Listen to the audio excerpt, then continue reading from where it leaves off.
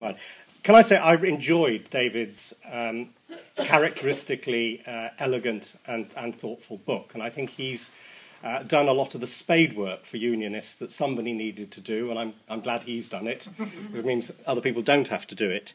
And what, what I want to do is pick out some of the themes uh, in my own language that he's uh, addressed, and then pick up one or two of the things that I think he's, um, he's not uh, yet confronted, which I do think we need to discuss. And the first point I was going to make was, in a sense, the question that Peter asked, because I think David is, unfortunately, one of a vanishing breed of conservative unionists who actually think uh, about the union. I was interested to read a couple of months ago that Nigel Farage regards Michael Gove as his favourite conservative, um, which I think kind of says, in a sense, to some extent, where the Conservative Party is in that debate. And David's point about can you really have a debate around unionism for Britain without having a positive debate around unionism in a European context, I think is a, a very valid and very difficult one because it seems to me at the moment you have a conservative led, forgive me, Jenny, uh, government at Westminster, which is increasingly looking like an English nationalist government that wants to pull the UK out of Europe, and a Scottish nationalist government in Edinburgh that wants to stay in the EU after an independence vote, if that were to happen. And of course, one of its arguments that is starting to run has been that the Conservatives may well pull the UK out of Europe and that that would be threatening for Scotland. So, to take a look at David, some of David's themes. One of his key themes, of course, is the end of Westminster sovereignty. And in a sense, I think he's absolutely right to say that that is what is happening. We now have alternative centres of power in the UK. And as Peter said right at the outset, that is not widely understood. There are essentially, to my mind, now three kinds of UK government minister. There are those who are genuinely UK government ministers, i.e., ministers for the whole UK, like the Foreign Secretary and the Defence Secretary. Nobody would argue that their role is not for the whole of the UK. There are then ministers who actually have to deliver either for the whole of the UK or for a part of it, Great Britain, say, uh, like the Secretary of State for Work and Pensions, but have to work through structures that they do not control, but very often develop default models based on English experience, which they have not thought through and have to adjust in the context of uh, the devolved administrations. We could say some more about that. And the third ones are UK ministers who are largely ministers for England uh, and have no wider responsibility in practice. Now, that requires, it seems to me, a cultural shift in the thinking of Westminster uh, politicians about their own roles. I think David's other point, really, is, the, and Adam's also touched on this, is that the future of the United Kingdom is too important to be left to the Scots alone, however you have that debate. And clearly, the decision about whether Scotland remains in the UK is a matter for Scots uh, at the end of the day to vote upon. But we require a wider unionist analysis. David has done that. He's articulated a federalist response. I'm not myself entirely persuaded of that analysis. But what I am clear about is that he's right to raise the role of other institutions, the role of the House of Lords potentially, in having a uh, wide, uh, wider UK role. I think there are other uh, discussions that we need to be thinking about. Are there models along the lines of the British Irish Council which have a role to play in some of these discussions in the future? David also looks at the Joint Ministerial Committee again. We might want to talk about uh, that. Um, and of course, he also then comes out in favour of a convention on the UK Constitution, which, of course, the First Minister uh, has done, has made the case for uh, very strongly. So I agree with uh, the way he has started to articulate some of those things, and I think they are really important issues that need to be gripped before Scotland votes in September next year. And there needs to be a proper UK debate. I don't think David gets to grips with the English question. I think the English question is rising, and I do think, you know, we've heard Ed Miliband talk about the need for a positive outward looking vision of Englishness. Jon Cruddas, who's directing the Labour policy review, has been very uh, much engaged with that debate over time. And I think that's a, an important and developing area. And there is a danger, of course, that it is won by default by UKIP. But I think there's one final area where I do think that we, all of us, and particularly those with media experience, Peter, have to engage with. And it's what I call not the West Lothian question or the English question, but the Letterman question. I called it in a lecture in, in Cardiff uh, earlier this year.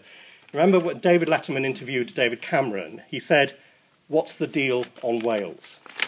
Now, I would quite like uh, London newspaper editors, uh, UK government ministers to occasionally think, what's the deal on Wales? Because, in a sense, it would indicate a structural shift uh, in, their, in their thinking. I don't think unionism is helped, or the UK is helped, by a media culture which treats England as normative and Wales, Northern Ireland, and Scotland as deviant or exotic or just different and troublesome. Uh, and we saw that certainly in my own portfolio areas, uh, area in places such as the debate, debate around tuition fees, uh, around qualifications, and particularly when we had the whole discussion around the English language GCSE. Uh, an inability to conceive there might be other ways of doing these things, and in fact, that actually within Wales and Scotland, um, particularly, some of what we're doing is more in, in common with the approach taken in, in mainland Europe uh, than it is uh, than is the situation uh, in England. So I think finally, therefore, we actually need a UK public sphere, and that is uh, a space in which these issues are debated. The only place where that can really happen at the moment is the BBC. But the BBC has to do more than simply reflect each individual nation back to itself. It needs to do rather more of sharing the experience within different nations across uh, the whole uh, of the UK. So David comes up with a positive approach uh, to unionism, let me say. Um, he is uh, optimistic that it can be done. I'm clear it should be done, but I'm deeply pessimistic that it will be done.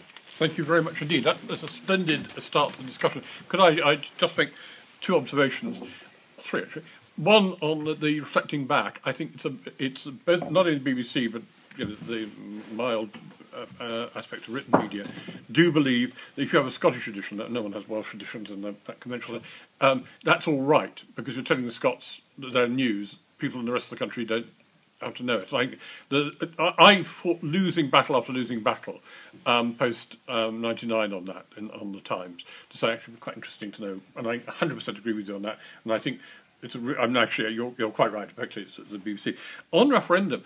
My own view is possibly the most important referendum, maybe the one held in 2017, if there's a if there's a Conservative government. I mean, whether it's it's considered Liberal one, whether that will ever happen, that's another question. Because if you imagine a pullout, that would have far more impact on the structure of the UK than anything else, uh, because the response of the. I, mean, I, I was at a, a, conference recently with a very senior official um, in, involved in Welsh affairs who said, "Oh, the nightmare scenario is quite simple: um, a pull-out vote on Europe." Because that unravels everything on that. And I just observe on Adam's point. I, I, I, was in Washington at the end of the Cold War, and I remember talking to Brent Scowcroft, an um, admirable man, wonderful man, who's advised the elder President Bush, very wise man and we were discussing the future shape of Europe, and he said, no, we really haven't adjusted to the end of the Austro-Hungarian Empire. The KNK is still there, and I think that's true. Right, now let's open it up. Now, there are four points. One, the representational one, very interesting one, on the nature of representation, and particularly the asymmetry between devolution of, of discretion of spending and tax, which I think is an absolutely crucial point. Um, second one is the levers, you know, the Welsh voices um, the table. There's still Scottish voices, but there, there really aren't significant Welsh voices. Um, the, the, the, third point, very interesting one, which, which, we haven't really got onto, is the diversity of England. And I think the, uh, is that there isn't a single English voice. There are many English voices, particularly London versus the rest. Uh, and the final one of, on who, who decides um, the 85%, the asymmetry point there. David, would you like to chip in on, on those? Yeah, I any or all you know, of those they're, four? They're very, all of them, profound questions. Um, I, perhaps I can combine a, a, couple of themes. The uh, I think the economics of all this, or the, the what's called in the literature sort of fiscal uh, federalism. Um, I mean, that's been a, a, a big thing in, in, in, Western democracies, centralized and federal, uh, uh, having more decentralized administrative mechanisms, and in federal states having uh, more robust uh, positions on taxing and, and borrowing. And uh, now, now, to those that say, you know, that the union at the minute is about the status quo and we don't have very radical options and that uh, uh, the, uh, you know, what's before us is, you know, like take it or leave it in terms of uh, uh, do you want to stay within the union? The Scottish people are being offered. Um, and therefore federalism is, is, just doesn't have any force behind it because people don't think we need to make the bargain, so, you know, why give it? Um, one of the, the, the, the big uh, themes to come out of this year uh, from the unionist side was whether uh, the Scots could be placated with full fiscal autonomy. Full fiscal autonomy is one of the most lethal things you can do to the Union. And I just, and I'm amazed that people don't through the consequences of Scotland saying we would never be a net contributor to the UK. We want fiscal autonomy and, uh, in effect, economic independence. So you cannot have an economic union on that basis.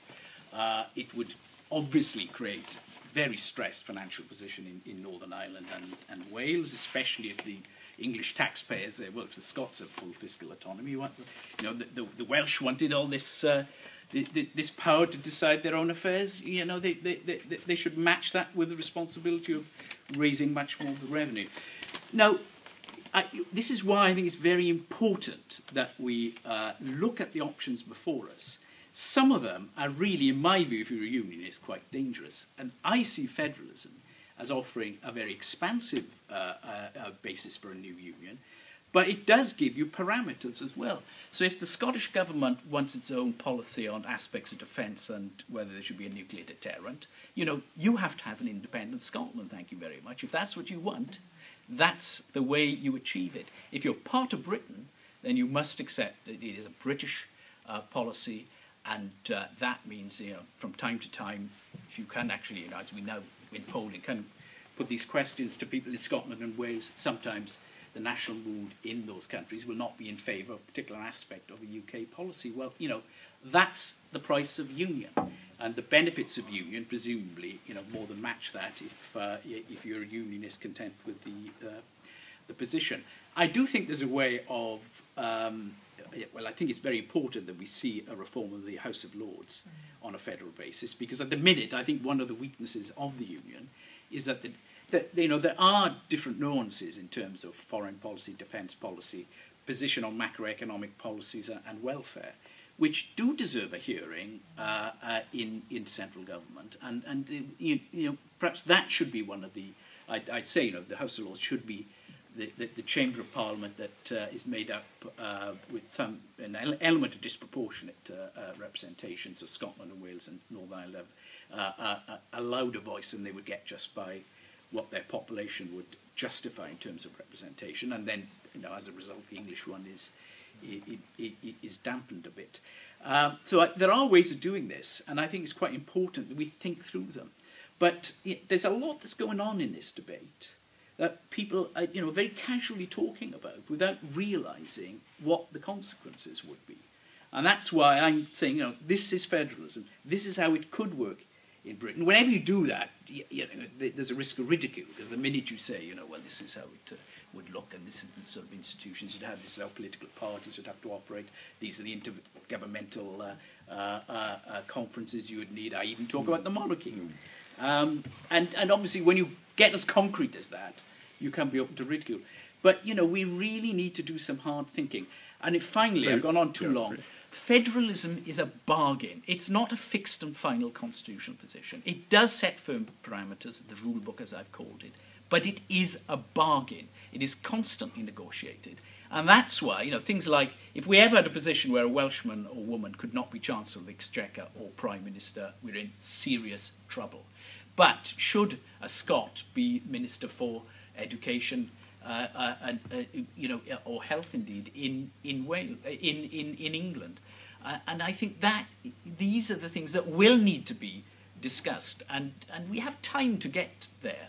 But uh, you know, the initial step is, is really accepting that federal bargain. I've talked too much.